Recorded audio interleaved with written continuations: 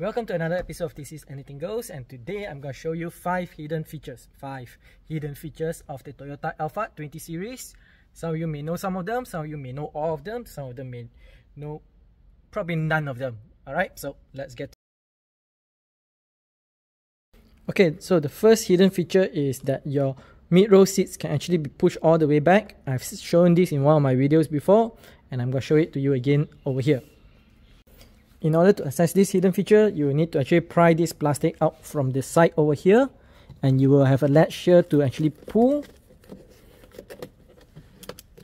and you should be able to move your chair. Yep. So normally it will be placed and it will be blocked by here but if you were to actually pull this and push it in, you'll be able to push the seat further back.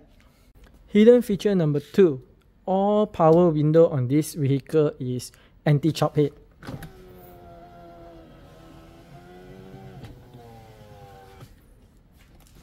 Same goes with this. Same goes with all the power window. Hidden feature number 3.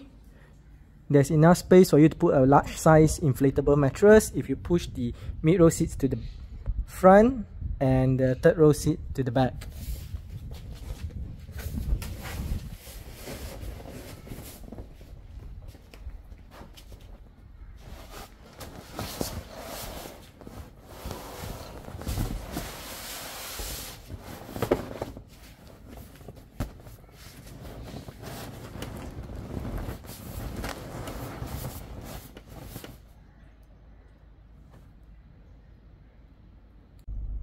Hidden feature number 4, there's two modes of cruise control. So if you were to activate the cruise control, you will have the cruise and you have radar ready.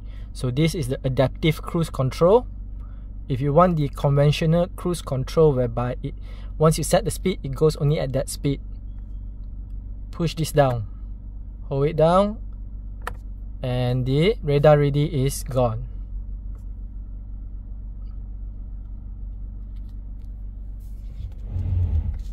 Okay, so to activate back the adaptive cruise control, again, same thing.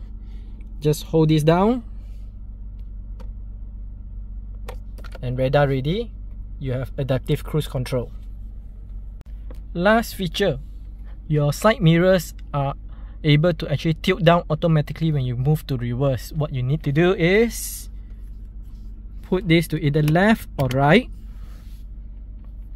and then put into reverse it will auto tilt down and once you go back to drive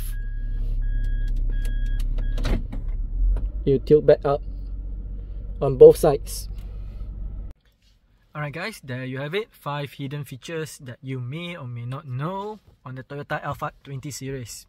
So that's the end of this video and as usual, I hope you learned something from this and if you have, make sure you hit the subscribe button, hit the like and the bell button so you get notified on our next upload. Yep, till then, I will see you again.